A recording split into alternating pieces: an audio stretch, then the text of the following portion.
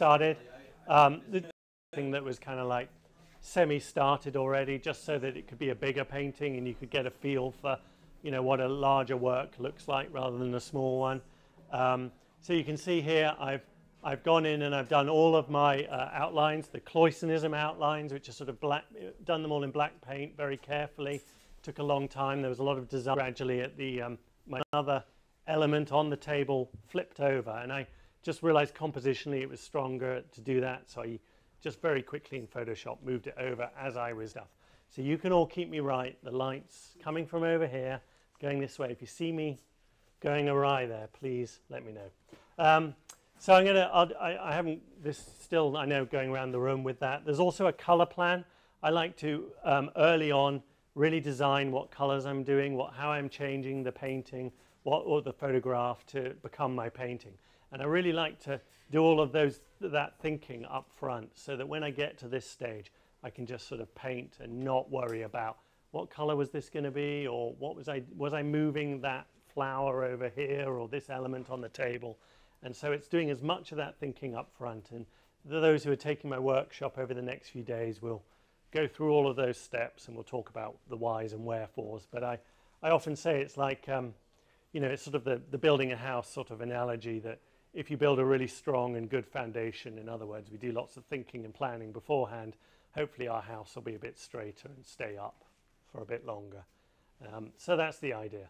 Uh, so I, I, think because I haven't got the source material, and I'll, I'll start with something that should be fairly straightforward. So I'm going to start doing these um, clementines or tangerines or whatever they are, um, just because that's a, a pretty good place to start. I'll, um, through the course of the evening, do a lot of uh, squeezing tubes of paint, acrylic paint out and scraping them away again um, because I'm going to move around through a variety of colors and I'll need the space on my palette. And also as many of you know acrylic paint dries pretty quickly. Um, and apologies if I um, am blocking someone. I think I'll I'll try and remember and move my body position around quite a lot but if I seem to have been stuck in one, one place for a long time, maybe let me know and I'll change that too.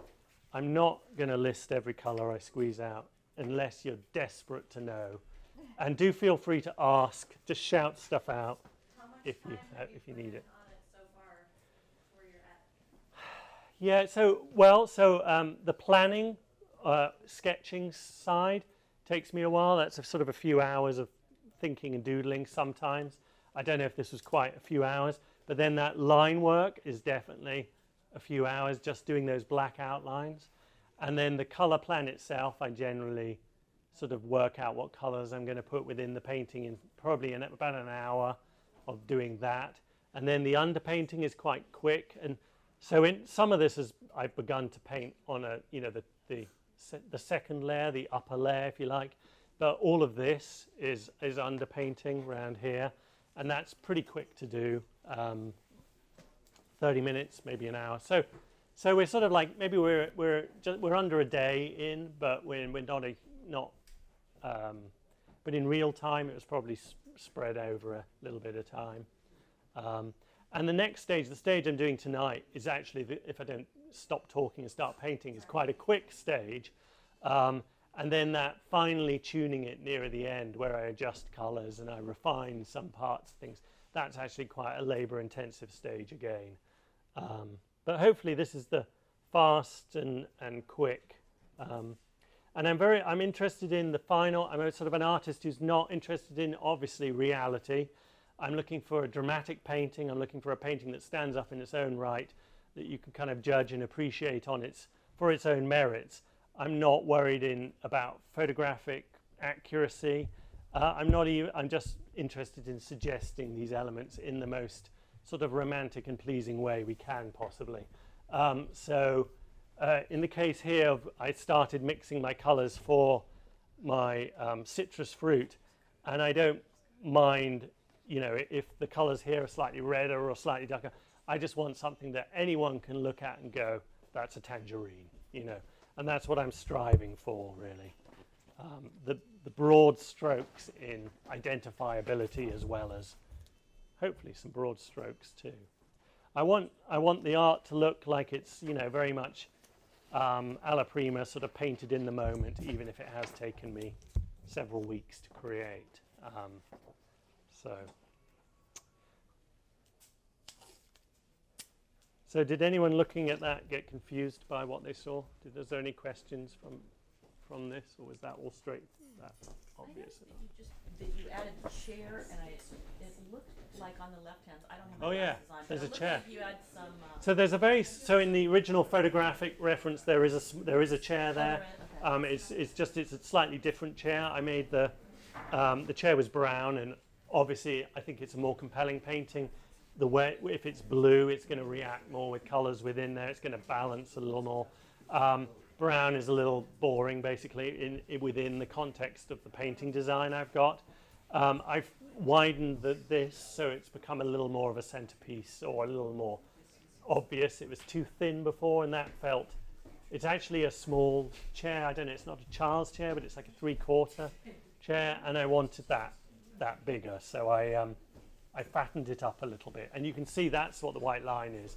I originally painted closer to what it really was, and then I thought, no, it's going to look better if um, if I adjust that.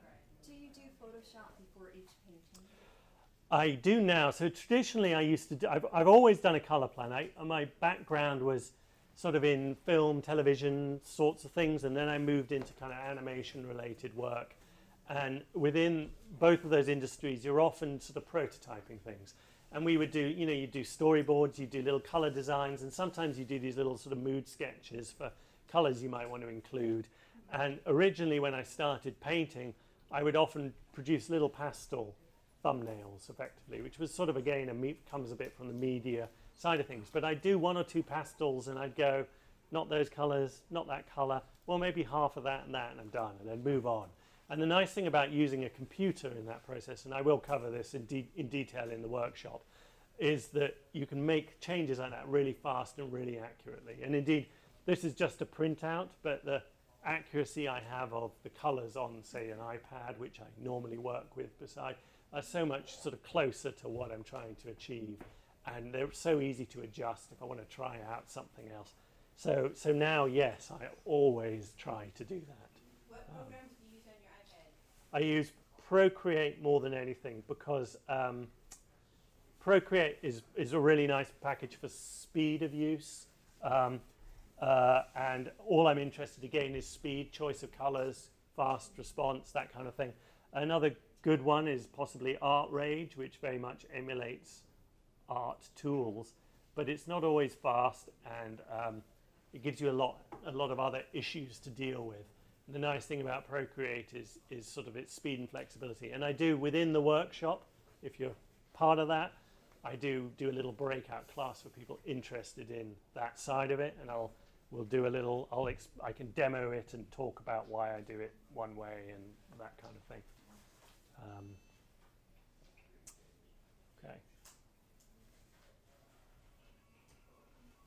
So I'll also probably jump around the canvas a little more than I normally would, um, just to try and get get you sort of a greater feeling of the whole painting as we go. Um, then you know normally I'd be a little more systematic working through the all of the oranges across the whole painting, and you know whereas here we'll jump jump through different colours and we'll stop and go off and do other things. Um,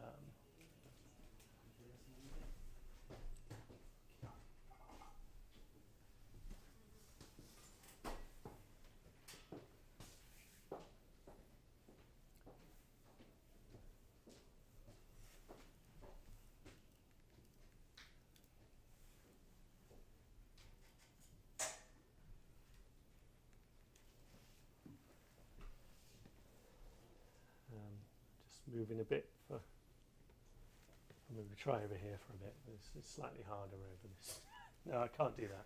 Don't worry. There'll be things. There'll be things on the other side of the, the canvas soon.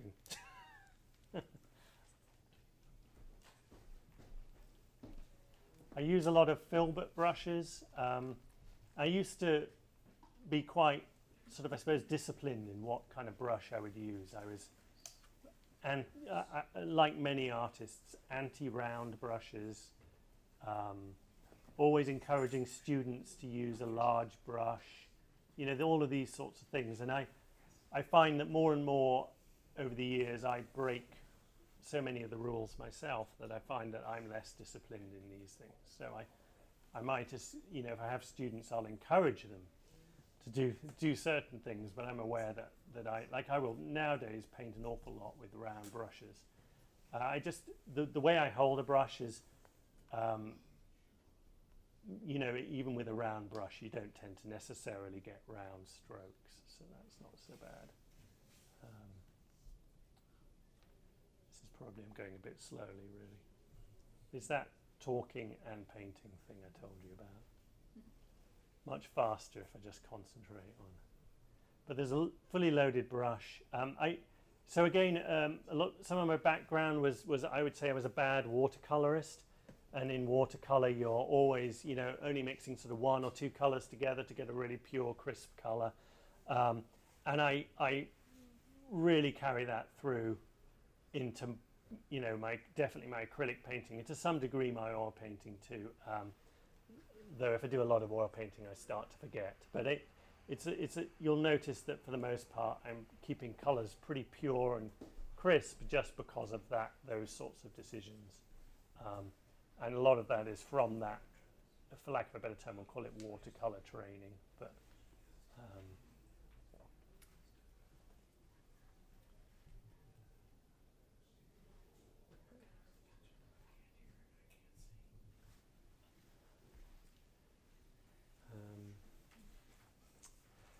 oh, I'm forgetting about Tangerine over at the far side here too, which is in the sun.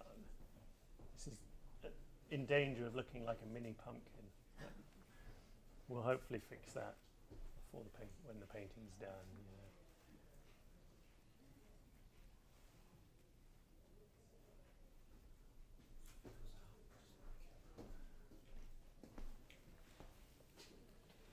So I haven't, you may have noticed already, I haven't been looking terribly closely at, generally when I look over here, I'm doing, checking both, but, but, it, but invariably I'm more interested in what my color plan looks like than the original photographic source. And that changes when I do something that I'm, I really want to get right, like whether it's sort of flower foliage or some real detail orientated thing.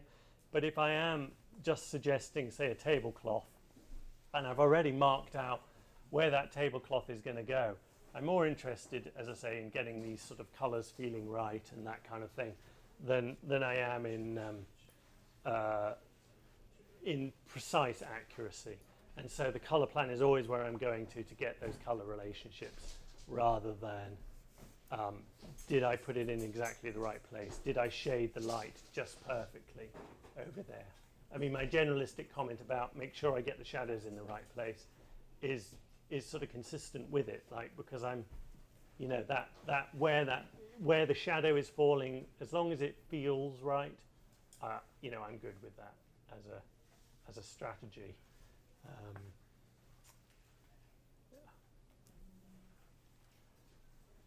So for the moment, that'll do.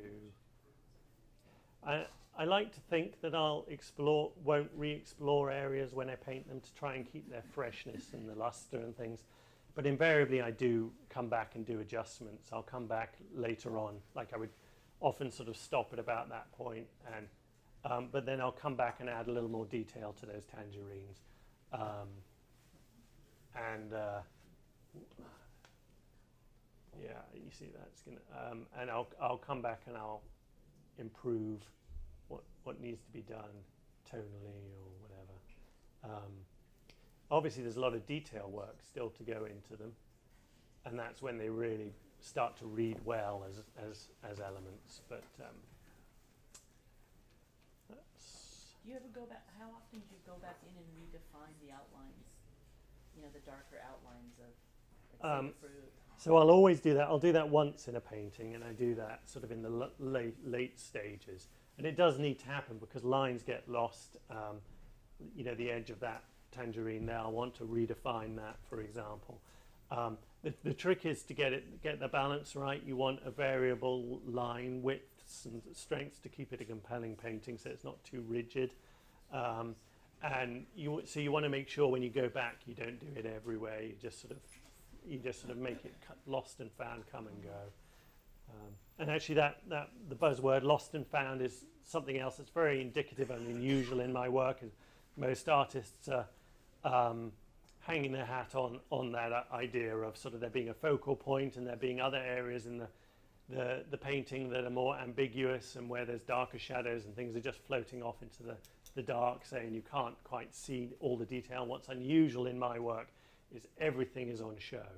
And what that basically means is you need to have really strong composition and a really good colors design so that the painting holds together and still looks like a good painting because you don't have that extra crutch, which is a vital one for many artists, of having the ambiguity of softer areas you know.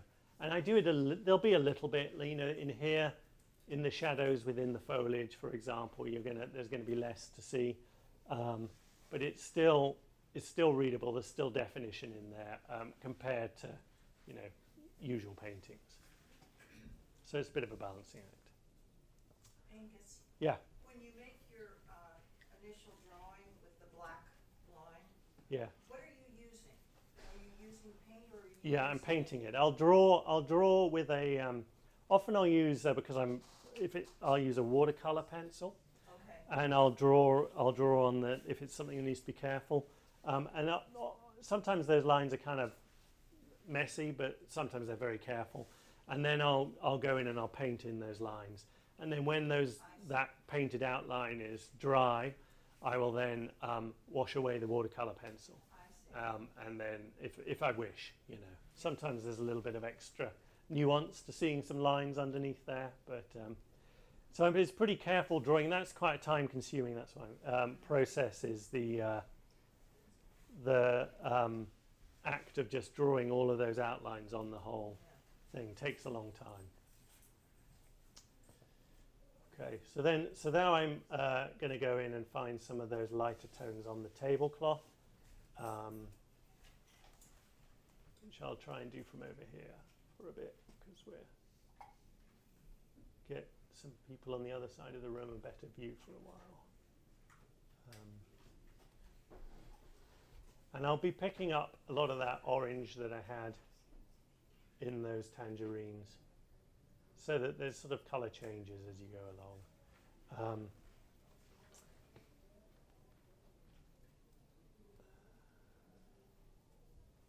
this uh, easel does, as Rich was telling me, wobble an awful lot with this size of canvas.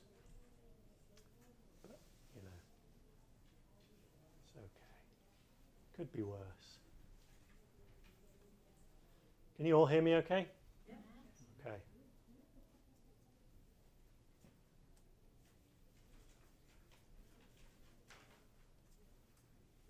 So the underpainting for me is an important part of the painting. I, I um, forever tell people it's lazy pointillism. It's the idea that I'm often with the underpainting using colours that are going to vibrate and react with what colours come on top. So there'll quite often be a, you know, like a complementary, like a green underneath the red or vice versa.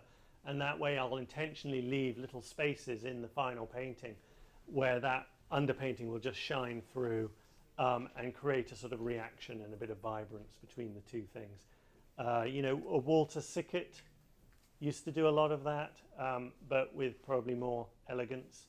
And um, I, I probably achieve it slightly more lazily. But um, the end was that's the that's the idea to the underpainting is I'm looking for things that are going to create reactions with the paint that's going to go ultimately on top. And acrylic is a great medium for layering paint. Um, with oil, I do need to be more careful about what my color mixes are and what colors I put underneath and that kind of thing. Even with acrylic, I do need to make sure it's, you know, if it's a transparent, like the, you know, say the yellow on a lemon, I won't be putting any strong color underneath there. Um, so there's so there's certainly thought to the underpainting about what you're going to be putting on top, um, but the idea behind it is this: I, looking for reactions and sometimes looking for tonal pushes. So, you know, in areas of shadow, I will sometimes put a richer blue in the underpainting, and that already is going to push that top color down um, a few notches, so it'll be darker.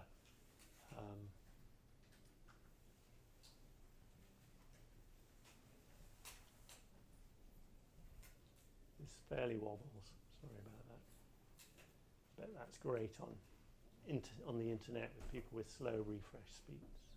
Could be. Could be all reacting away.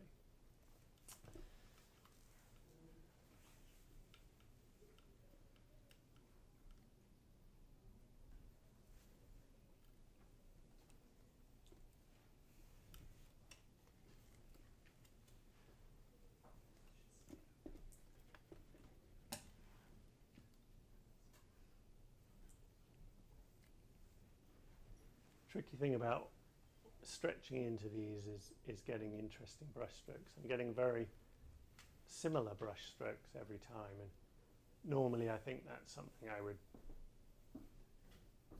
um, wouldn't do quite so much. I think it's because I'm continually stretching across that they're a little they're coming in a little too similar, and that's well certainly it's something I'm thinking about as I'm going along, but I'm not necessarily managing to get them quite as different as I'd like. Um, and then also, the, the, the might be obvious to a lot of you, I'm, I'm a huge uh, proponent of negative shape cutting over positive shapes. So, you know, the example of that, if you paint a tree, do you paint the sky and then do the foliage of the tree? That's positive shapes. Um, or are you painting the foliage and then cutting into the foliage with the sky? And that's negative shape cutting. And then the defining shapes with the negative for me is is always more compelling, and it's a, it's a weird thing because really they should end up looking the same, but for some reason they never do, and um, uh, I just think that that that I, I just adore this sort of negative pushing. So I'm so I have maybe sometimes these thick outlines, and I'm cutting in there, and then often I'll here I am cutting into the shadows a little bit um, on the tablecloth and so I'm always sort of pushing those those two two elements. There's another chair. Who else needs chairs?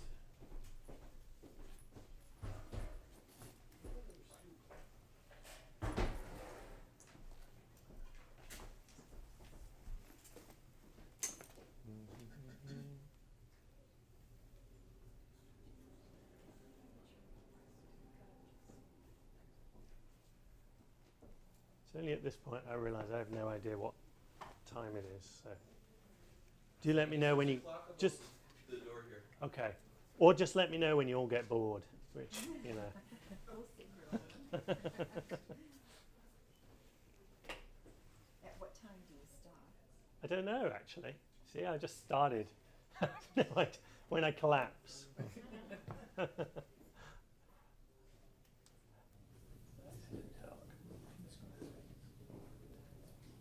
When you use oil, do you use a complement in your oils, or do you do it as brightly as the acrylics? I, I, there's very little difference between my oils and acrylics. The final results, I think, any, to any kind of anyone vaguely aware, they can tell, but only just. And I think many people buy them and have no care or knowledge of which they are. Um, and I, I'll do invariably, I'll generally do my oils with acrylic underpainting. So at the stage of underpainting will be when I'll switch to oil because that makes it so much faster and easier. But it's not essential. I mean, I have done oils from start to finish. It's just you have to wait for those other stages to dry before you can um, go. I mean, you know, the, the, the thing is, an if you're painting with acrylic you, and you're really an oil painter, the thing you miss is glazing and that all of those nuances. But it, you know, um, there are. I, I think there's lots of lovely things about acrylic paint too. You know, they're just different, right? They're, they're um, it, it's uh, got to embrace embrace all the differences. Um, I could do with backing up for a moment because I can't tell when I'm doing that. Oh yeah, okay. That's what I've been doing. So you can paint oils on top of acrylic, but not acrylic on top of oils. Yeah. Yeah, and but you can try that if you like, and you'll see why. Because it doesn't stick well. Well, what if the acrylic is, let's see, It doesn't stick well? Doesn't doesn't it? Doesn't, really doesn't. Yeah, it's a sort of. You soon you soon realise. Hang on, something's not right. Yeah, they're speaking from experience. Okay, I need to come over here for a bit again. Sorry.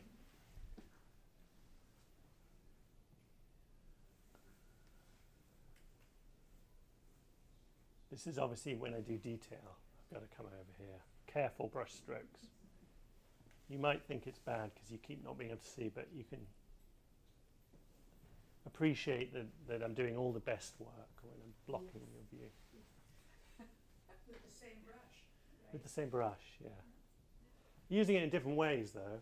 Whoever said that, mystery voice out there. Yeah, I mean I'm. You know, there's a lot of this, but then I'm also, and that's why I, I'm a big fan of holding your brush like this, because you get a lot, you get a more variety of stroke. And I'm using a, a flat brush, which when we were talking about brushes earlier, I used to do an awful lot of painting with a flat brush, and I hardly ever use one now. So, I, you know, but I guess I wasn't really checking when I was packing my bag. So here's a flat brush. Um, then, you know, you go through phases on these things. Y- you- people ask what your favourite brush is. What my favourite brush a few years ago was probably different from what I'm using now, and so on and so forth. I think it's just a partly what you got used to for a while. Um, So is that a hog bristle or? yeah, I do like hog bristles. And I do occasionally have synthetic brushes kicking around, but they're not they're not I haven't found ones that I like. Yeah. I'm a b- big fan of hog hair brushes or similar. I'll leave it like that.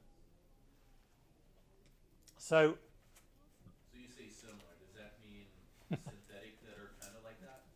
I probably mean other bristle-related brushes. So um, I, I, I'm fully fully believe that there probably are synthetics out there that are quite nice to use. Um, I don't use a, use them a lot myself. That doesn't mean, you know, I'm against them, and it doesn't mean that occasionally we'll find one. You know, I do. I'm a bit. You know, certain people end up with too much stuff. I have too many brushes. I'm always every time I do a paint order, I order brushes, and I and I'll use brushes till they're absolutely a stub. And so I don't need that many brushes. I gradually get more and more brushes, and then I go. I like to say you have a favorite brush, and that goes out of fashion. So, so those, you know, I just I'm, I have old brushes that I used to like that I don't like anymore that are still in there, and I'm waiting for that to come back into fashion in my tastes. To, you know. Um, so I wouldn't mind. Do you have a paper towel? Because that's yet another thing I forgot to bring with me. Sorry. It's partly because I keep painting myself. Yeah. Well, I'm sure it'll it'll be useful at other times. Thank you. Sorry. Okay. All right. So that was probably more of the tablecloth than I planned to do, but it gives you a feel for it. And, and you know, the if you're if you're not talking too much and thinking right, you want to leave these little bits of underpainting to shine through the blues and the yellows. You can see them clearly across here. There's probably too many of them, and it's a little unfinished, the tablecloth. But one of the risks is if you do too much, they'll, the, you, you then paint them away and you can't get them back, right? So the idea is to bring it so far and then stop at the right time so that you haven't lost that um, little bit of underpainting that you wished you'd kept. Uh, just gonna, those bits just sort of bugged me. And maybe, okay, maybe that bit bugs me too. And then you can sort of just generally say, ah, we'll fix that later. Um, so what's next? Maybe the uh, the vase or the table. I'll take votes on what's next. Phase. Okay, phase. I'm I can be bought, you know, with my told what to do. Okay, so some purples. I um maybe some violets. This is quite good because it's in the same sort of ranges.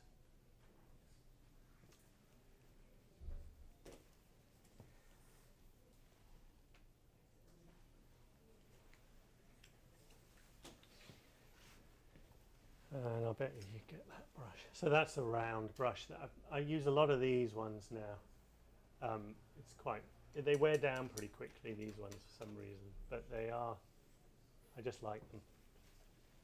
That's why I'm just going to leave it at that. I just like them. That's, that's as much as I can tell you. There's no science to it. Uh, I'll probably, you know, I, I do too, with acrylic, you is, is really kind of hopeless at glazing, but I will sometimes glaze certain things, um, and especially small elements. And I could see that this jug may well be something that I would glaze. Like I'll get it tonally in the right direction, and then I'll just um, near the in those final stages do a little bit of glazing. Now you'll have noticed if you studied that color plan, a lot of elements in it were very messily colored in, um, and sometimes I I think there's a lot of beauty in that mess. You know, the, the, the top of this this jug here I left as a red band and it's sort of reddy orange in the top and that's kind of strange and there's none of the the um, jug patterning visible in it and the question of whether I go uh, more like the color plan or more like the original painting I've still sort of left up to my interpretation as I paint so I will so I suppose what I'm saying is, I, you, you may have already worked this out for yourself. I'm not following anything closely, um, but I am sort of letting myself be um, steered by it as I go. And sometimes I'll, I, I, you know, this, this idea of revisiting areas, I try not to, but sometimes I'll make one of those decisions and it'll be the wrong one, and then I'll try and revert or go back or, you know, um, maybe just rethink would be a politer way of saying it. Um, so I think I'm going to get rid of that nice red and orange up top, but I could see possibly um, putting in a little bit of the patterning, but in a red and orange color later on might be quite a nice thing to do. Um, so that's where my head is now. Whether when I revisit that later, um, I'll be thinking the same, I don't know. So I suppose it's you, the simple way to say that is I'm letting the painting speak to me. That's very pretentious statement for you there. Um, I want it to be a little, probably a little bit cooler. Um, we've got a, a very sort of purple to red table and a red, lot of reds on the tablecloth and the elements on there. So having this a little bit cooler is a good thing as far as I'm concerned. Um, giving us a degree of separation. Uh,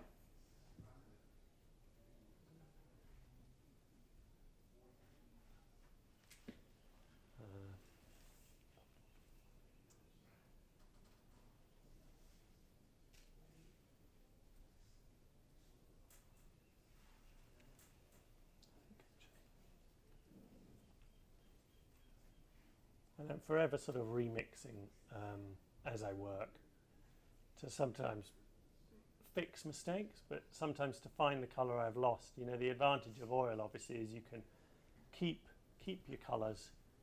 Um, with acrylic, you really get good at mixing because you you're always needing to remix. Um, and uh, for, for if you're if you're unfamiliar with acrylic, you know it really does dry to a different brightness than uh, what you paint. Darker, it goes darker. Yeah, it's annoying. But again, you do, I mean, over time you get used to it. But it's still annoying. They could have fixed that, couldn't they? For me. Okay, something like that. How's that looking from back there? Looking right? Yeah, it's a little messy, but it's okay.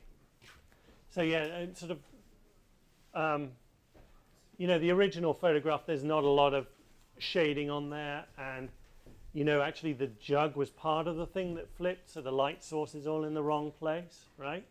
So I've moved the light source and I did it right today. You know, it's coming from over here. Um, but there's a lot of sort of interpretation.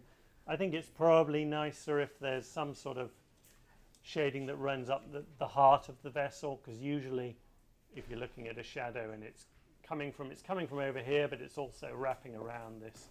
That ultimately we're probably looking for something that, you know, coming through the middle. Um, and I'll probably do a little bit of tidying up of this.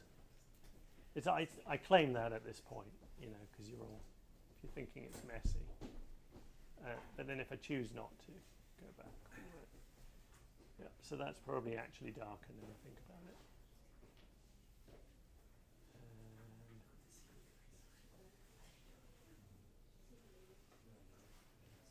Something like that.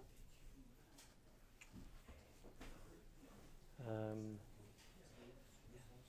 and re-establishing some of those outlines later on is what will really like crisp it up too. The moment, the moment I kind of come through and I put a heavier line down the middle, that'll seem like a, a more carefully rendered um, jug than it actually is.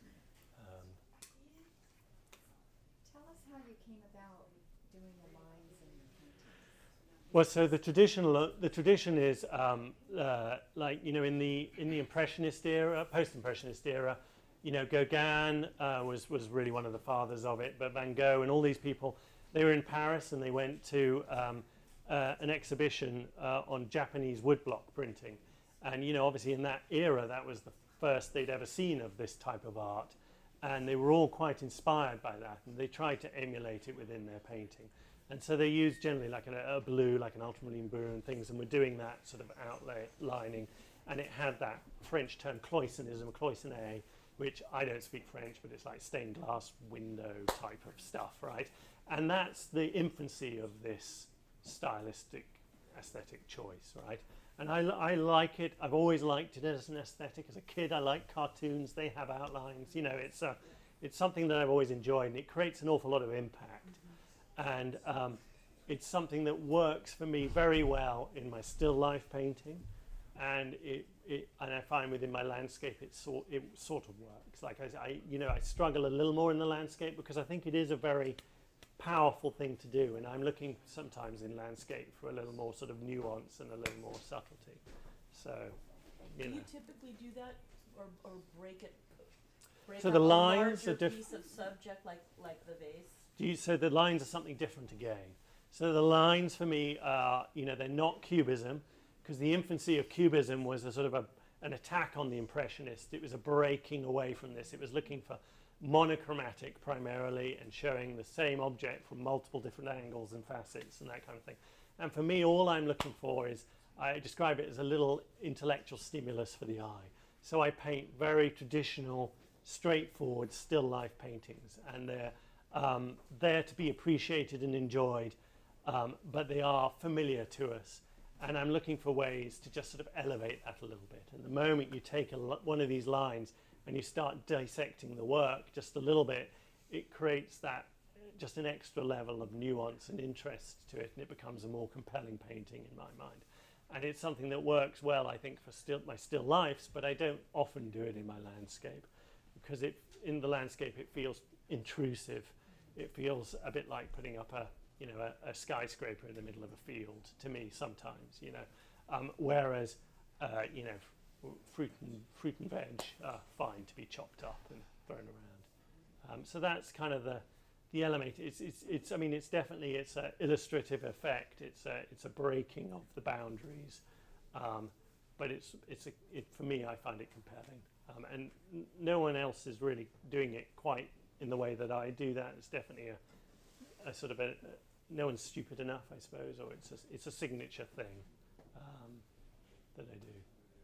Yeah, That's what I meant. that's what you meant. Yeah. Yes, but thank you for asking it differently. Oh, I, I just could talk about both. Uh, somebody would have wanted to know the other one.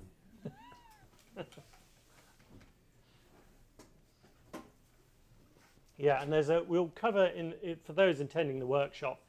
If you're interested in trying out the lines and experimenting, then well, I'll talk about those. And there's, you know, there's a lot of rules that I have learned the hard way about where you can put a line and where you can't. If you place it in the wrong place, it'll it'll give the the um, a very unsettling feeling. If you give the line basically a third dimension, so it feels like you could walk around it, it's quite an unsettling thing.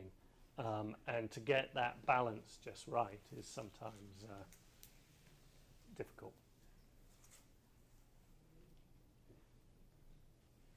Took years to master. Years. Okay, so uh, something like that.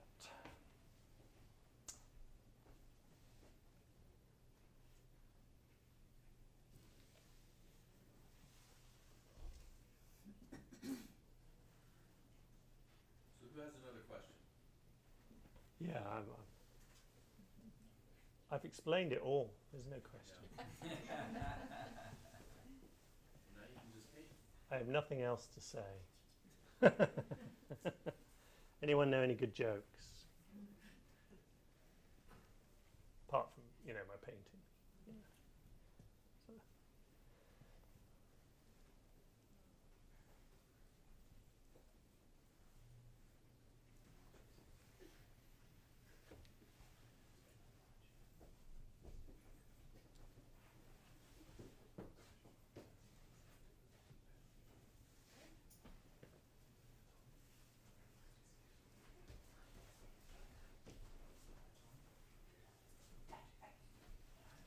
I, I'm spending too long over there, aren't I? So, how many layers will you paint in acrylic? So yeah, in my ideal world, I do my you know my original outlines, my underpainting, and then my painting on top. And my painting on top, I I'll just do once. But in reality, I'll go back and I'll change um, details. Like for example, I'll realize that maybe I think this might be a bit dark, right? Looking at it now, and so I'll go back and I might redo sections of that vase, maybe jug, maybe most of it, right?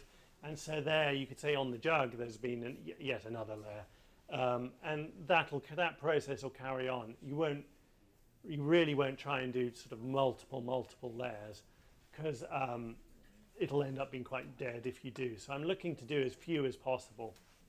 Um, and then there's definitely this tidy up stage. So even though I would regard it as you know the underpainting, basically, and an upper layer, um, and then there's the tidy up is adding little details, and it's probably another layer in places, but not everywhere. Um, that's what I'm striving for. And the outline that you were talking about? The outline I'm not counting. I'm counting that as underpainting or or overpainting, either, but I'm not counting it as a whole separate layer of paint because it's not everywhere. You know. So the spots of the pink and the blue and the orange that you have in the background, you just do those for? like Well, they were they were kind of everywhere, Uh-huh. although there was some yellow too. This so this is underpainting, but this in here uh, was some overpainting that I just sort of did to get a feel for how those colours were sitting. And this is so this is a new layer, and you can see some of the blue through there, right? And in places, I'll go again with another layer to push that down more. Um, and in other places, other areas, it'll look quite nice because I want some. You know, the, the original photograph again is this drape, and I've sort of changed the positioning of the drape a little bit. I'm not interested in necessarily showing fabric folds in this painting. I'm looking for more colour because there's a lot going on here. So I don't really want people to spend a lot of time in that background. So I'm looking for something that isn't too interesting. And yet I want it to be quite dynamic. So even in my colour plan, I've done a little sort of very light, pale, whitish hues up there and a bit of colour. And I will keep that idea. So I'll probably have some passage of light. But I'm not going to say this is fabric. Look at the folds, you know. Um, and it's that getting that balance right. Um, I could do a bit of yellow now and just remove some of those other areas. Um, why not? Why not? Why not? So do you go to the market a lot to buy fruit? So I, the way I tend to work um, is, I I do do that, and and I will buy you know everything that looks good. I don't worry about the budget, you know, and I will also buy lots of different bouquets of flowers and things, and then I will spend a very long day moving uh, furniture around in my home to get all the different tables and to get all the bowls and all the jugs, and I have wardrobes full of spare vases and things, and my favourite jugs that appear in many paintings, and get it all together, and then I will photograph them in different arrangements. and I'll take a lot of photos and a lot of different arrangements, and then from that, I'll only ever paint a handful of them. Um, because I'll always do a setup that either is too close to the best one or um, isn't good enough, you know. So there's a lot that just don't get done because of those two criteria. Um, and then there's obviously a handful of ones that are just right and they get painted. Uh, but more and more, I'll now composite from previous photographs. So I'll take the bouquet from that photo shoot and the table from this one, stick them together in my mind and end up with that. And I'll do that a lot. And, or even, uh, I'll take bouquets I often work from photographic reference, but more and more elements on the table I will create, sometimes from my mind, you know. Because by now I've done so many lemons, I can really draw a lemon and paint a lemon to my standard without, um, without needing a reference material. And I do follow those rote, you know, it's, for me it's about re-establishing the, that imagery. So I'm not, again, not interested in the photographic realism or getting the light just right. That's not what my art's about.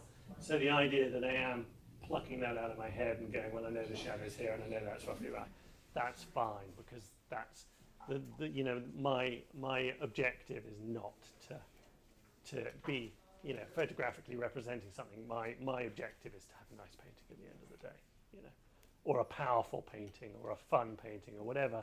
Insert your own adjective here, you know.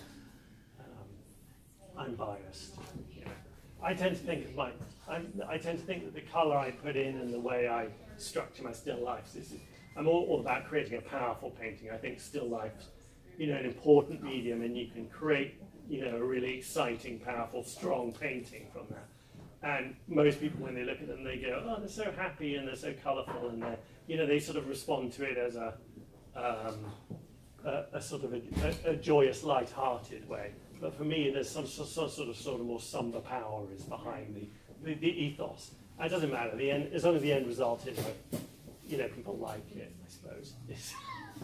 I'll, I'm reasonably happy with that solution. Yes. There's-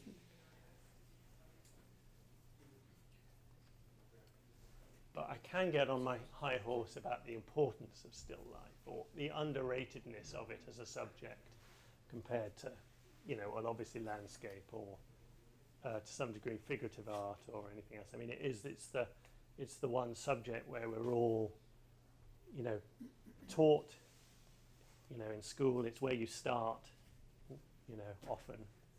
And, um, you know, and then it's sort of forgotten. Or it's, uh, and I, I, that, that, I have problems with those sorts of mythologies, I suppose. Because I think there's a lot that can be said about still lifes, um, even though these are the, the subjects of everyday things.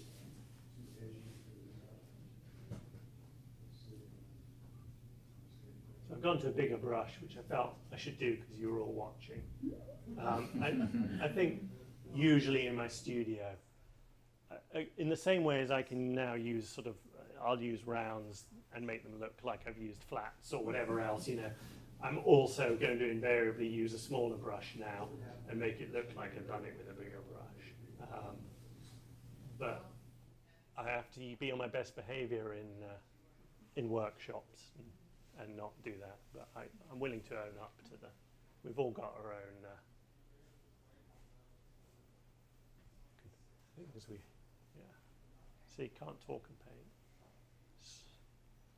So something like that. And, um, I think it would be quite nice. So this this isn't in the colour plan, but this is a uh, a sort of feeling I have that if I had a little bit of a light patch over here, um, that goes behind this the dark foliage. I think that that's quite. Now you, there's a lot of um, as well. You know, most artists draw. You you put your lightest light and your darkest dark where you want your focal point to be. That's standard painting rule. So wherever your focal point is, you make sure that there's the biggest amount of. And I'm more interested as an artist is in a a path that your eye will follow through a painting. So I'm looking for a, um, a, a route around that, and I'm not interested in one focal point. So by doing this at the moment, I will have created that focal point. But there'll be other devices within the painting that'll take us in other places. So we're not going to start, by the time I'm done, we will not be drawn to this and only here. Um, we'll, go, we'll go to other places within the painting. Um, but right now, putting a, a very light colour next to the dark. So it needs to be around there too. Like that.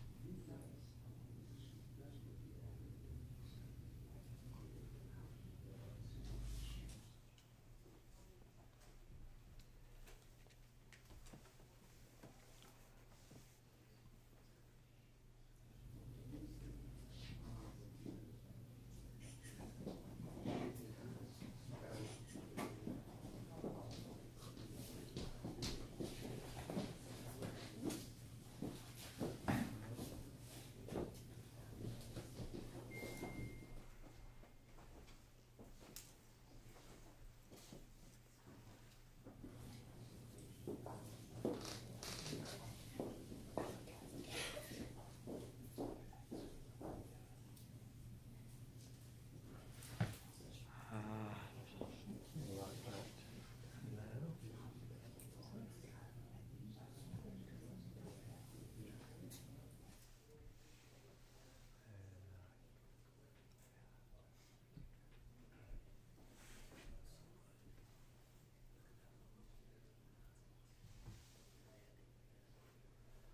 So I, again, it's this idea of um, in the larger open areas, you know, yeah, use a bigger brush, and you're also looking for sort of possibly more exciting, dynamic brush strokes. I don't, I'm not an artist to hide my brush work. I want people to see my brush work, um, and uh, so I'll go in and make sure that they can, you know. Um, and that's going to give you, you know, if you feel like it's a very fluid, loose painting over here, then you're going to give me a little more latitude and think I've painted this area over here very fluidly and lat laterally. It's, it's all about sort of creating that sort of ambience, I suppose, of, um, so, so some messy painting over here is, is what it's all about, you know. Um, and also texturally there, I don't know if that will pick up for you in the audience, but here there's more texture, here there's texture because I'm on a bigger brush and I'm being a little more sloppy with my the way I'm applying paint. So I'll be trying to balance some of that too. So I'll have to make sure, you know, there's some thick stuff over here and then there's also some here, you know, and ultimately that'll all sort of sit quite nicely. Again, it'll feel like texturally balancing across the work. Um, I'm sure we'll cover that kind of thing over the next few days. Sorry. Someone's trying to talk to me. Perhaps they're on YouTube saying, please stop. so bored. You told me There's a, a thousand people on YouTube right now. uh, a thousand. Yeah. No, you, you're being sarcastic? Yeah, I. Yeah, there's five. five people. It's more than five and less than a thousand. More than five. That's right. But they're with us. But we're not telling you. yeah, And Neil Young is one of them. Neil Young. He's far too busy, far too busy playing music.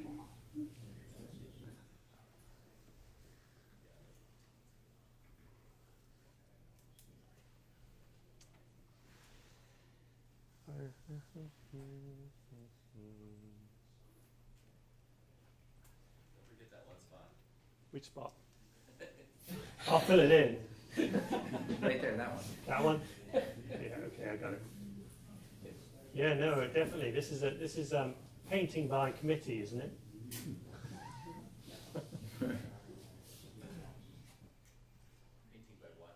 True by true management style. You know, you can give me your suggestions, and I'll certainly take them all on board. You know, just I just won't necessarily do them all.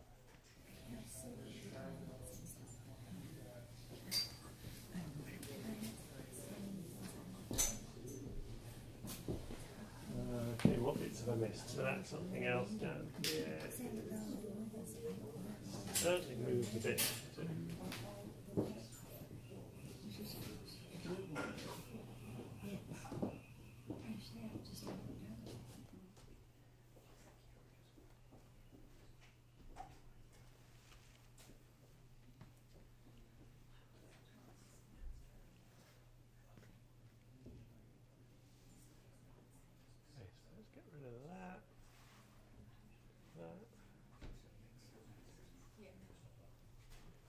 Only you two can see this. and No one else can see what I'm doing. That's why they're all leaving. We're done. Do you typically Okay. buy your flowers from the same vendor? Like you go to Trader Joe's and buy Are you all the thinking I flowers? should organise a discount? Right? I keep coming in here to buy your flowers. Uh, no, um, I, I don't. Um, but in the same way I said I don't care about a lot. I I have gone to like Whole Foods, and that's you know whole paycheck. You know it's sort of so I buy, and buying all the groceries and stuff from there has probably doubled my bill. But they do have a nice set of flowers, you see. So that sometimes I've ended up just going there just because I get that. So yeah. So no, I don't. I'm not. I'm not. Uh, I went. I bought the, the the the things for the workshop, and I went to the two two. I went to Lucky, and then I went to Safeway because I didn't have quite enough in Lucky in my mind. And then I went to and should have gone there because that was much better, right? But oh well. So they. So that's. Um, yeah. There's no. And I do have a few um, ten flowers in my studio too, that I've used as over the years. Occasionally, I need a certain thing. I have sort of some of that generic foliage, Uh-huh. which is really good for sticking inside a, a you know, a bouquet to jazz it up a bit. And you'll notice, I mean, if, if anyone's a professional flower arranger here, that part of that ethos as well, I would argue, within my arrangements is they're not always traditional bouquets or really nice bouquets. And equally, I'm not really interested in painting like half-dead flowers. Um, so there's some sort of area in the middle, and it's, it's possibly, um, you know, uh, you know, then it's it's just kind of how it turned out, I suppose, you know. Uh, so I've made m- I've made my first mistake that I'm going to erase here. It's the curse of a big brush. Can you show us how you erase a mistake? Just a bit of paper towel. Oh, I see. A bit of paper towel. And do it fast if it's acrylic paint, right? Um, what brush was it? So, um,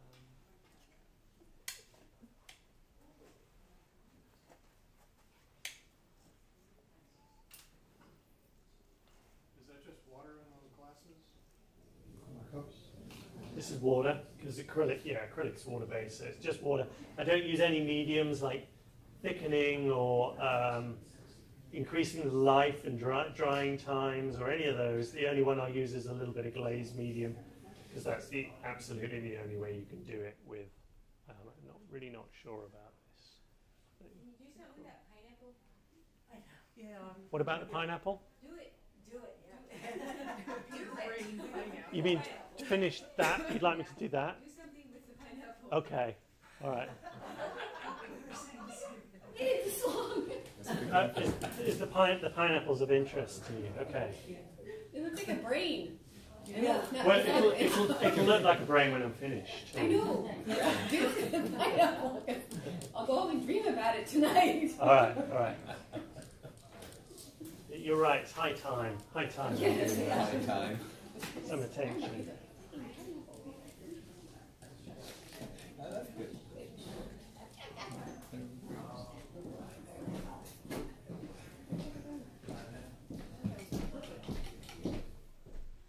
Okay. Pineapples must be painted with a smaller brush. That's my mandate for today. Never attempt a pineapple with a big brush. Do you ever get so involved that you put your brush in your water or your Yeah. Oh, Yeah, yeah. Yeah. And it, well, I, though you know, it's more cups of tea with me. But yeah, I do because I, the, in my studio at home, they are at different levels, but I do occasionally still do it. I don't always drink it. Depends how desperate I am. Okay, so pineapple color.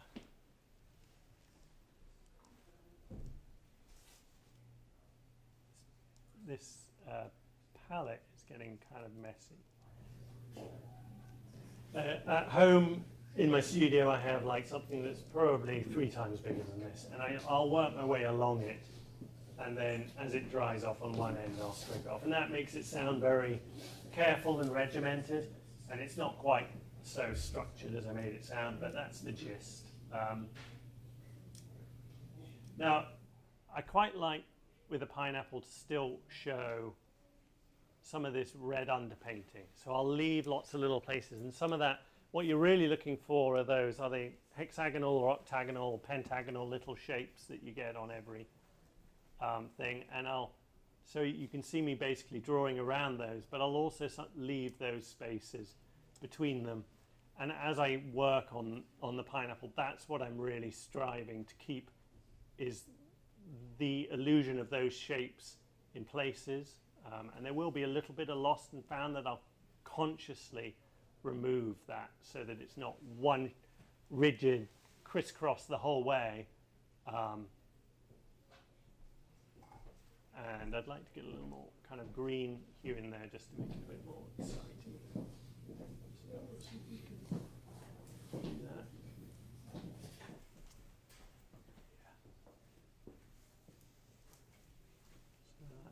Sort of those sorts of colours.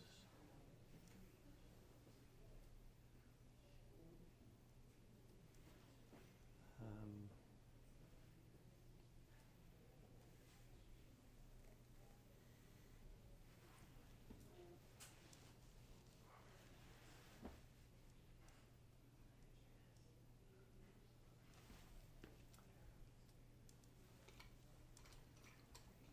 Sorry, this was more detail work, so it involved me being over here again.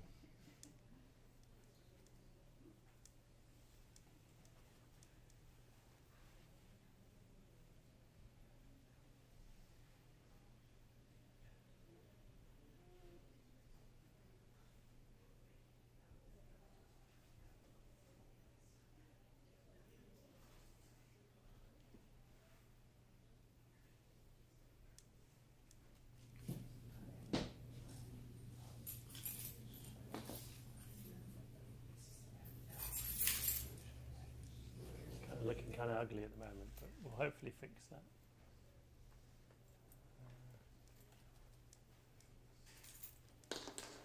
More warmth.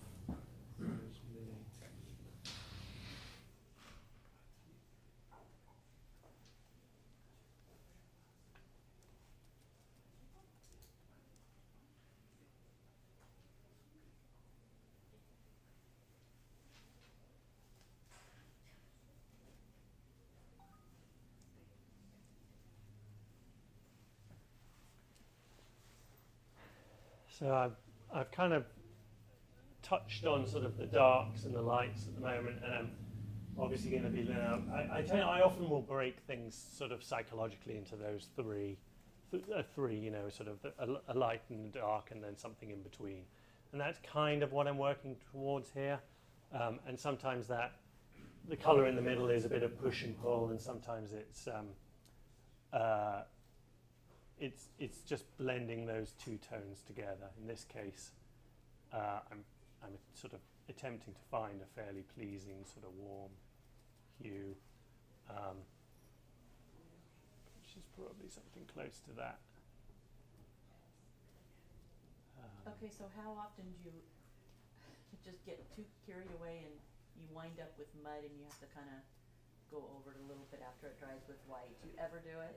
Oh yeah, I think we all do it occasionally, um, as as little as possible. I don't, you know, it, it does happen. I, you know, I, I have an artist friend of mine who literally paints very slowly and methodically and never goes back. You know, never goes over anything he does. He, so every stroke is a commitment, and I can't live like that. You know, I have to go back and tweak and adjust and. Um, and I don't doesn't mean I enhance and change everything, but there's definitely and uh, there's definitely areas that I want to modify, and it's it's all about that sort of style and the type of marks because I am attempting to do fairly large and generous strokes and fairly easy and fluid ones. That means I need to, I would argue, move at a certain speed and be fairly confident in how I approach and things. And and I would say that then, well, then I'm not always going to you know, end up with things quite the way I thought, and so I'm going to want to adjust sometimes, right? Um, and so there's my there's my two cents. But there might be an argument made for well, if you were better at mixing colour in the first place, you wouldn't have to. go back. Um, I'm not even going to get into which of those two is the right answer. But how's that looking from a distance? Does it look like a pineapple? Doesn't look like a brain. Yes, we've succeeded. A fruity brain. What kind of border are you painting on? So this is like sort of MDFE type type stuff. Um, I, I'll even sometimes buy those panels uh, like a gesso board, you know. Um, but then I never leave it alone. I will. I'll come and um, add uh, my own coats of gesso over the top. I'll sand them. I'll I'll attack them before I even begin. You know. Uh, Any gesso on both sides? I do because if you don't, you'll get curve. Um, so you're supposed to keep that balanced, right? Um, I'll do, generally I'll do, if it's a larger panel, and I buy my own wood sometimes and sand that and gesso it. So I'll do two thick coats on both sides, and then I'll do a, sometimes a third, what I'll call textural coat on the top. And then I'll go on the back and I'll do like a big sort of stripe and cross hatching to, to counteract that. Um, uh, in the case of the gesso board, it's already arrived with coats of thin gesso on it. So I'll generally only add one on the, the side that's supposed to be ready, and depends how big it is. But if it's this sort of size, I'll probably do two on the back. Um, they all get ultimately get framed, but I, with those sort of, as long as you keep your numbers pretty close to balanced, it's not going to curve. Um, take it from again someone who used to have a lot more curvy paintings out there because I wasn't always balancing it quite so well. And the sanding is it by texture for the paint to stick? Uh, so I like, so I want, I, I'm not, so I don't paint very many canvases over wood or panel, and that's because I don't like the um, regularity of canvas tooth. So in this, so in the case of the moment you start applying thick gesso, you are then getting brush marks um, instead of any kind of regularity. And the brush marks look can sometimes look like final painting. So if you do very thin washes, it'll actually look like you've done lots of really interesting brushwork when in actual fact you did lots of really interesting gessoing. Now I don't often paint that thin or whatever really, but that's the mindset that again I'm coming from because even when I was doing the watercolor, I was interested in having a good ground, an interesting ground uh, underneath. And so that's it's all sort of built up from those sorts of. Pardon? It's cheat, cheating? No, no, because it's the end result is built on that, right? So, I mean, I'm trying to make my do it, achieve it in the easiest way or the best way, I suppose. Um, it's it's yeah. There's other ways to do it. Yeah, you know. But you could make the same argument then that painting with a large brush is cheating over using a tiny brush with lots and lots of strokes, right? Yeah, so it's not, it's not, it's just making your life easier. Um, Well, you're pretending you're doing one when you're doing the other, then. yeah. Then, like so then I am cheating, aren't I? Because I do, I'm doing that small brush painting, but making it look like a big brush is cheating. Maybe that's the case.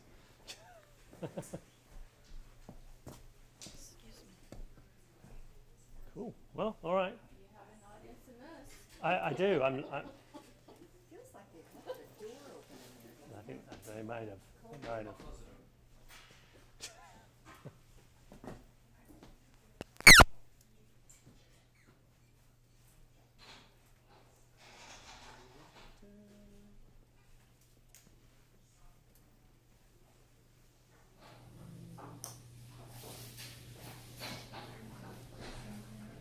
You spoke of textural balance, could you expand on that? Yeah, well, so um, you're looking for balance in all things, right? So you're looking for um, color balance across the painting or unification across the painting. You're looking for um, you're looking for it's, it's all about composition type issues. You're looking for basically a pleasing um, uh, symmetry within the work or, or direction or all of those sorts of items.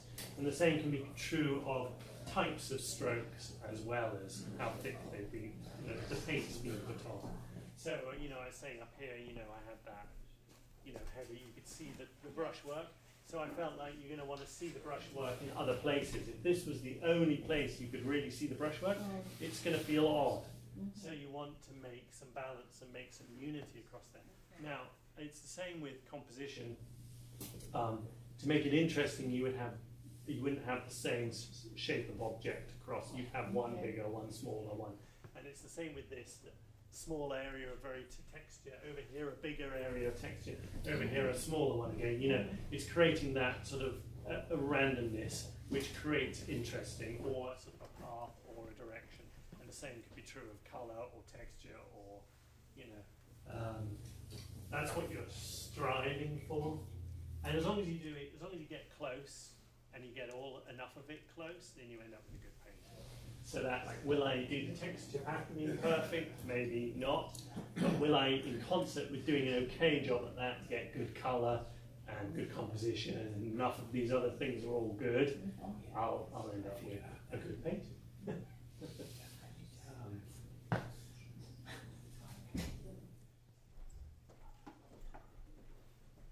so, what would be helpful to see keep going. Work on that chair. Chair. Pull that chair. Well, the, the chair, colour-wise, is almost what's what's going to keep key it in.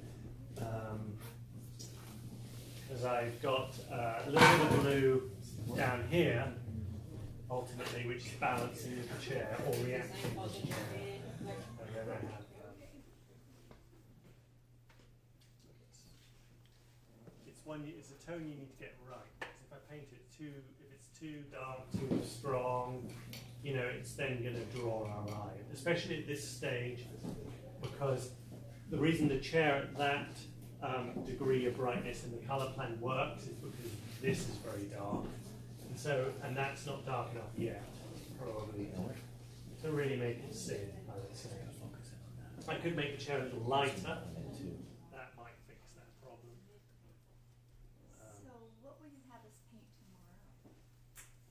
tomorrow, you'll wait and see, is what I'm going to say. Well, I think there's not everyone here, I think I'm right in saying, not everyone remaining is, is in the workshop, so I'm not going to bore them with, with telling what we'll doing. So, but don't, don't worry, it'll be fine. Yeah, I'm excited. I think there'll be some element of me demonstrating something, for, partly for the people who weren't here, but to some degree So for that, everyone. that white that you have right there is dry. This? No, no, no, the one, This? uh, the blue that you just painted over the chair, uh, Uh, uh, you know, yes. and you had a white Yeah, skirt. I had, I'd done that. And, and so long time that ago. is still dry, uh, that was dry, it wasn't Yes. wet, It wasn't wet because it's um so acrylic paint dries fast, right? you know, and I painted all of everything I came with tonight when you saw it at the beginning. That had been done. And Two so days you, ago. you get that effect of that light, lighter. The light through is because at the moment it's a little transparent. Um, but again, I'm going to be looking for consistency with the rest of the painting. So- that keeps it from looking flat too. Right. But then there's also this where do we want the focus to be? So if I made this very transparent and interesting, where our eye is going to be looking in the wrong place. So that's the. I really don't want us ending up looking at the chair for any length of time. But I do want the chair to balance with things. And the chair at the moment is, is basically adding a balance with this very heavy, some flower. It's a dark set of flowers, it's a big, rigid. So a dark chair over here, those two are bookending or pillars. Are you gonna darken the flowers more though? Yeah, Okay. yeah. I'm going to do, well, I'm going to do more work in. And that'll have a saturating sort of All right, more of a contrast there. Yeah, um, and they're not. You know, this was sort of this was sort of the early start to, to it, I would say. So there's um, there's some more mid tones going to go into the foliage, and I wouldn't. And it is the kind of thing that I might go. That's not quite dark enough. And again, I might just do a little bit of glazing in the shadowy areas just to push it down a It's very pleasing right now. It But I is. can see why you would want to darken the sh- some of the shadows more. I don't know if I'd want it as dark as the chair.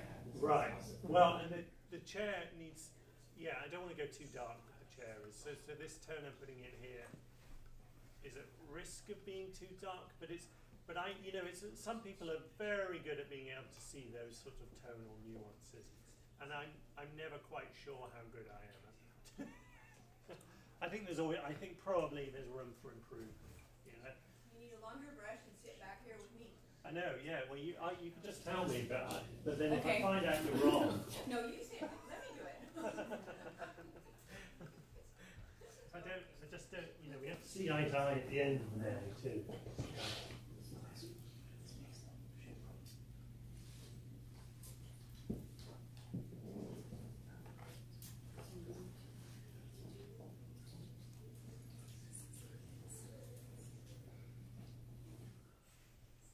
So that's, um, don't, even though telling you I never do too many colour mixes, that's, that was more than two to do this colour. And I've actually mixed a whole bunch of colours and I've got cerulean blue there, basically, which could have just come straight out of a tube.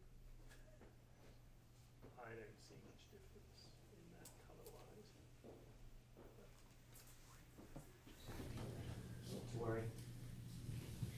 Um, then I'm going to do this. I think that the, the original colour concept had this darker, but I'm around. This is like a, you know, there's there's a uh, what's it called? So basket weaving sort of seat here, and um, this is the lighter wood around the edge. And when I do the in here, I would do it dark again, and that'll create some nice look con- contrasts. Um,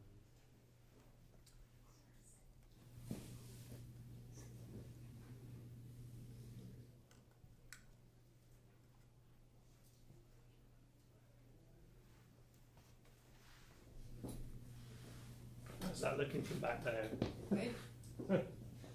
Yeah. And then it's maybe a little rich, but um, Well, when you're darkening the face, it's gonna be fine. exactly, exactly. Good point.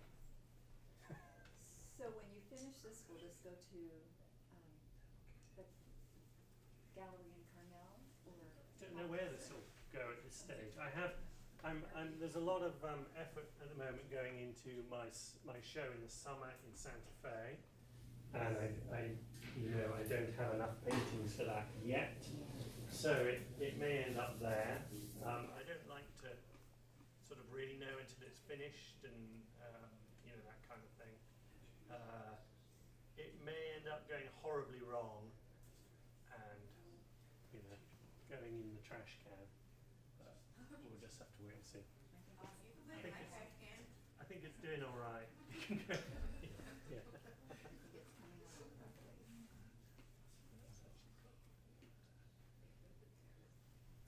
So also, you know, there's this sort of um, what your what you want the person to look at. I said there's not an area of focus, but there are things I don't where I don't really want the person spending too much time. And this chair is one of them. So I don't want to paint it too carefully because again, if there's too much detail in there, maybe they're going to look at the chair compared to other elements. Um, and so a little sort of clumsily painted and sort of slightly less saturated colours is a good thing to become less appealing when we're going to have you know stronger colours and more powerful um, things in here. So, I, but I'm leaving little bits as ever of the red to shine through because that's going to give me some balance.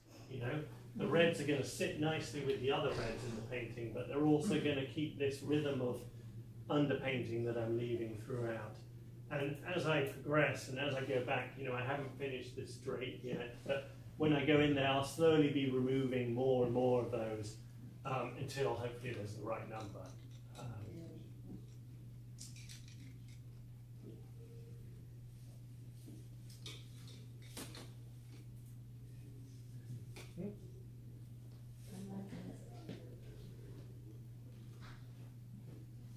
so when does it all end then? You're probably exhausted. Was there a time?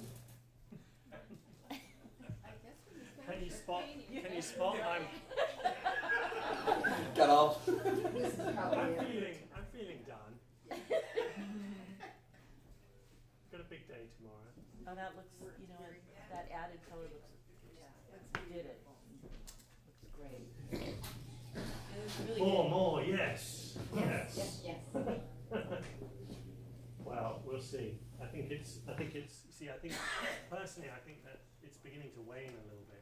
That, that, uh, How do you know when you're done with the painting? Good question. You mean like just in general rather than this specific one? I, you know, like I'm sort of saying, I was sort of hinting at, are we done?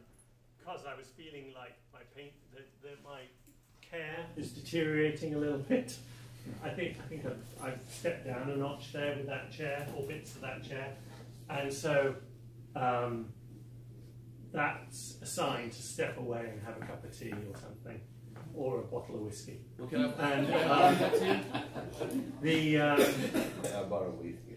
but the but the other like how you know they're done. I used to have a re- it used to be really easy. Like like you know I've been doing full full time painting for you know like twelve years or something now. Before that was other art things. But within that period, like I used to stop and be done and happy. And more and more in recent years, that growth of paintings that are finished but not quite finished mm-hmm. has grown in recent years exponentially, and now I, I, it's not so clear to me when something's finished. And I get things back sometimes from shows, and I think, you know what? And I'll take it out of the frame, and I'll strip off the varnish, which is a really annoying job. And I'll do that enough just because I want to change some aspect of that Leave it Wow. painting. And I'll do that, and then I'll re put it all out, out it goes again. And so, you know, I feel I feel that that's an area that I'm now fallen into possibly another phase of my art career. Stripping varnish. Well, I always think they're always better, but then that's just all about your current. Like I was really happy with that painting before, and now I'm really happy with it again. I've just given it a change. I've just changed it. It's like it's like you know you bring your doll home and you put a new set of clothes on and you send it out. That's a Yeah. terrible analogy. I don't have dolls. I don't play with dolls. You too. I. Uh, no, but you know, um, that's the whatever the example. You know, it's it really is just that kind of. I think you've got a little tired of it, and your s- some of your tastes have changed in some nuanced like way, and I'll readdress them. But but I have ones around the studio that I will set aside, need to set aside because I think they're finished, but there's something not quite. Here. And that is the wor- that's the You worrying like because taking a photo of it and putting it on. Oh, I um, I so I will. I always sign my work in the last sort of twenty percent before the painting's finished because I see the signature as part of the painting, but I also sign it because I know I'm getting close and I'm almost there, and it's sort of all. And then I'm not quite agreed to being done, and so so um, and then you never quite know when you're there. And I'll photograph it and I'll add it to my files as a finished painting and often that's not finished, and I revisit it, and that's another annoying step because it takes time to photograph it and document it, and, and then you have to do it all again because you changed it. But I think that's now become all part of that uh, setup. You know, it's it's something I have to go through to for my neurosis and my sanity, and you know, So do you varnish all your paintings? yeah, absolutely. What do you use? Um, so I, it's uh, golden M. I'm forgetting the letters now. It's a golden varnish. It's good for acrylic and oil. It's a gloss varnish, and I dilute it with their approved dilution, which isn't mineral spirits, because if you add a mineral spirit to their mixture, MPV, I think it's called. It's nasty stuff. I use the Golden Mineral Spirit one, and it's made by Golden, and it, it works for both. Yeah. it'll it'll come off with regular old industrial grade mineral spirits. And I, I used to use And it stinks Um, terrible. Yeah, they all do, don't they? I used to use this really nice one. I can't even remember the brand now. In because I started in Scotland, and I used to use a, a varnish there that was from Holland, and it was wonderful stuff. And you can't get it in America. I don't know why. So now that's this is I've gone through a few now. I'm reasonably happy with what I'm using. Well, good. Well, as far as uh, finishing points, let's finish up tonight's uh, demo uh, with a thanks to you for, for doing this, and Thank we'll continue on. So, great. This will. Uh, this is our first uh, live YouTube uh, thing. We've been doing these for five years, uh, demo nights.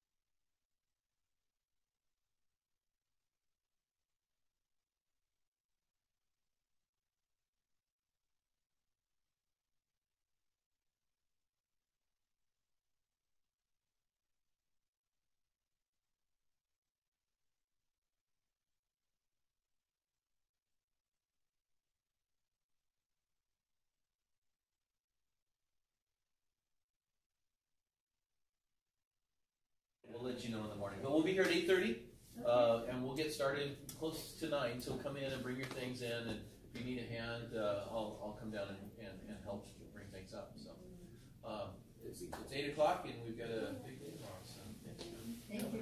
Thank you. Anybody have any other questions? Thank you. All right, thanks. Aren't you gonna have a raffle for your painting? A raffle? No, but the ra- the painting.